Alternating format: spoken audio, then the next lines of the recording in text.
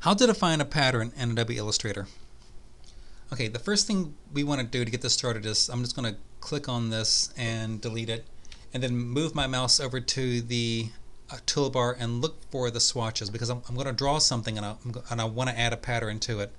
So I want a, a black stroke and no fill to do that and I can get that by just toggling this and now I can see that I'm when I start to draw I'm going to have a black stroke and no fill. So that's what I want. And now I'm going to come up to the pen tool and just roughly begin to draw out just an object here. It's going to be kind of rough but just for the demonstration purposes of this tutorial I think it's going to be fine.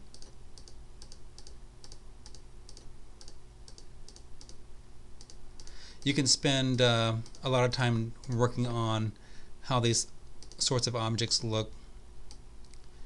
But again, for just the purposes of this tutorial, I think I'm happy with that. I'm going to call that a glove, and I'm going to add a pattern to it. So uh, you might already have a pattern that you have in mind that you found on the internet, or a pattern that you created in Photoshop, or a pattern that you did with some colored pencils and scanned it in. In this um, example, I have a, uh, a, a pattern that I found on the internet and I'm going to to get it into Illustrator I'm going to right click on it and hit copy image and just minimize the browser for a moment. Come back into Illustrator and then on my keyboard I want to hit control V as in Victor to paste it in. And then I'm going to look at the uh, the zoom tool. Hold down the alt key to get that minus sign because I want to back away. And just to make sure that it is actually selected. And then into the edit uh, um, pull down window up here. I want to click on that and come down to define pattern and give this pattern a name. And in this case I'm just going to call it leaves. And I'm, I'm okay with that. I'm just going to hit OK and now to get back to the drawings that I did I'm going to scooch this out of the way and zoom in a little bit. I'm keeping the plus sign at default and just clicking on the left clicking on the mouse to kind of zoom in. And clicking on the selection tool to select that object. And I can apply the the pattern that I just defined by looking in my swatches. And if I look forward I can kind of see it in that little that little um, that um, little icon that's right there that looks like the leaves and that is indeed it. So um, I've got the pattern there, but I'm not happy with the scaling of the pattern. So to scale that pattern down a little bit, I can go into the ribbon and look at objects, click on that, come down one and look for transform, and then go to scale. And then the scale dialog box opens up.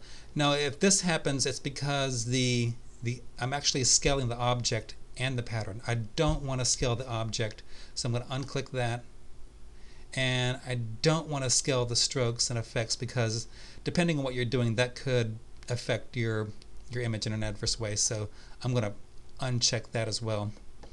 And now with the preview checked I can see what I'm, I'm doing here.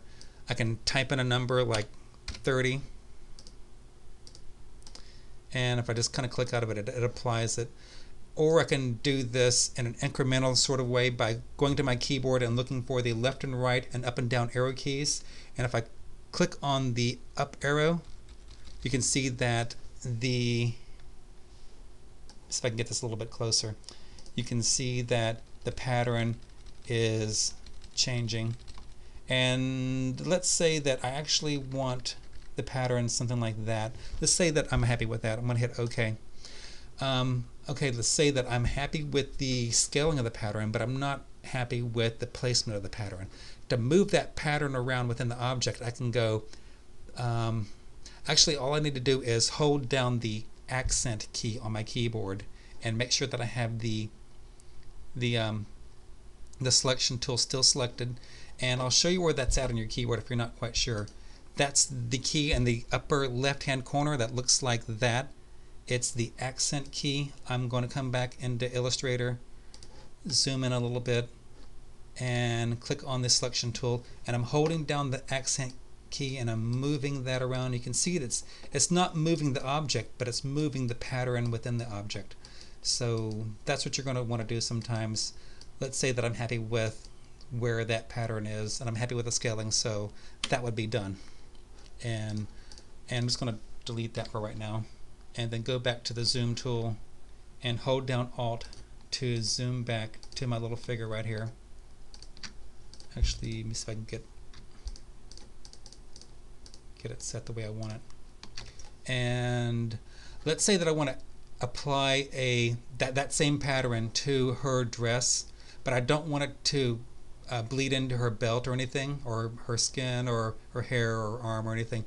Um, to do that I'm going to just back up just one more time and click on the drawing. And I can see that it's actually all grouped together because this is something that I just found on the internet for for demonstration purposes.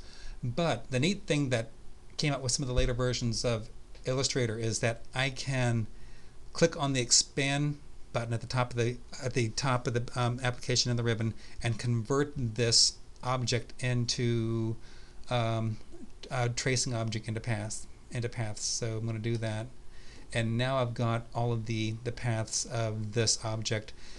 And um, I don't want if I try to apply it it's, it's going to apply to everything. So I want to deselect everything that I have for just a moment by coming outside of the selection and just clicking once to deselect that. Come back over into the toolbar and click on the direct selection tool and then come back over to the to the drawing and click on the upper part of her dress. And if I hold down the shift key I can add to my selection. I'm going to do that and just click on the the bottom portion now. And now I want to apply a pattern to that. So I'm going back into the swatches. I'm looking for that leaf pattern.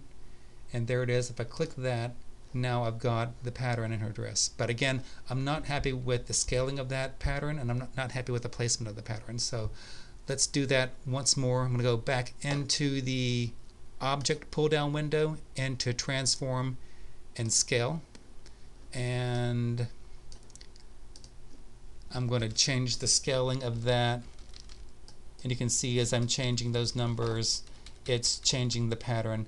Let's say that I want the scale something like that. I'm going to hit OK I've got the preview on so I can see what I'm doing as I'm working with the dialog box and again you want object unchecked or otherwise it's going to scale the actual object and it's going to really distort things. So you just want pattern checked.